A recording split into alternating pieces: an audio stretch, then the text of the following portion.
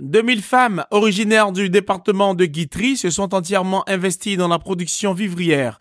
Regroupées au sein d'une société coopérative dénommée Deo Gracias, les femmes veulent massivement produire du manioc, de la banane plantain, du gombo, du riz et de la tomate pour contribuer à leur façon à l'autosuffisance alimentaire. Au cours d'une visite, elles dénoncent la divagation des animaux dans leurs plantations. Ce sont les bœufs on a beaucoup de problèmes avec les bouviers et leur pâturage.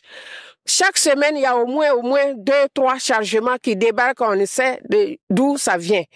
Et ils nous détruisent tout, tout, tout sur leur passage. Jugeant noble l'engagement des femmes de la coopérative Deo Gracias, le député maire de Guitry, Yao Sylvie Patricia, leur a offert une contribution financière à travers l'octroi d'une subvention.